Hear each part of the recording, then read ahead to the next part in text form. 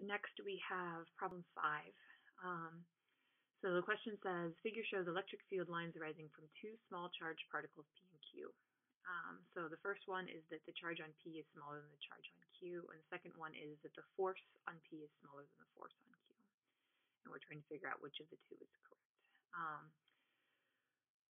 so I see that there's more field lines coming out of Q than there are out of P. So um, pretty, we know that the stronger electric field is associated with lines that are closer together. Um, and we also know that electric field is stronger for a larger charge. Um, if you don't kind of have an intuitive feel for that yet, that's fine. You can still see it from an equation um, where I have that the electric field strength is kq over r squared. So it says that my electric field is directly proportional to my charge. So a bigger charge will have a stronger electric field. Okay, so one is definitely true. Um, we can also, it's not one of the questions, but we can also here tell the sign of the two charges because we know that electric field points away from positive charge. Both P and Q are going to have a positive charge there. Um, the real question, I think, and why this people struggled with this one is part two. Um, so um, this is a Newton's third law question, um, and I am quite fond of putting these types of questions on tests. So you should be prepared to see it on probably at least half of your tests this semester, um, which is forces are any time you see something like this, it's wrong, right? If you're talking about the force exerted on kind of a mutual force, the force that P pushes on Q is equal and opposite to the force that Q pushes on P. If you have a mosquito that hits a semi truck, the mosquito pushes the semi truck just as much as the semi truck pushes the mosquito. Um, so those two things are always, this is always going to be false, that the force on P due to Q is always equal and opposite to the force on Q due to P. So A is the correct answer here. All right, next is problem nine. Um, another electric field question. So I am, and I don't know if you noticed this, but this right here should be a minus. It shouldn't be a plus. I have a positive 5 microcoulomb charge on the left and a negative 4 microcoulomb charge on the right. Um, and I'm looking for the electric field at this spot, which is not directly between them. It's closer to the negative charge than it is to the positive charge. so first things first is we need to figure out what direction fields are pointing. Um, and actually looking at this, I'm just going to slide up here because you might have just watched this.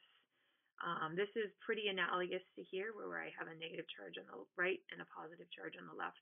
And we found that the two electric field vectors had to point to the right. So let's just redo that, but we kind of know that we what we expect to get, um, which is that um, I'll just do these two together. So electric field lines point away from positive charges. So my E plus is going to point to the right. And these two together, my electric field lines point toward negative charges. So E minus points to the right as well. And we know that the net field vector is going to be, because both of these point to the right, we know that they're going to add together. And my net field vector is going to be a, a vector that's longer than either of t, uh, either of these two. They're going to add together. That's going to be important later because I think the reason that a lot of people messed this up is because they went ahead and put a negative in for the value of the q when they're when they're problem solving. But when you're using Coulomb's law, or here you're using the electric field formula that goes with Coulomb's law, when you're solving these equations for point charges of the electric force and the electric field, you're not using the sign of the charge. You are using your brain to figure out whether or not things add together or they are different from each other. You're not using the sign of the charge in the formula. So let's go through and do the formula and make sure that we know what we're doing here. So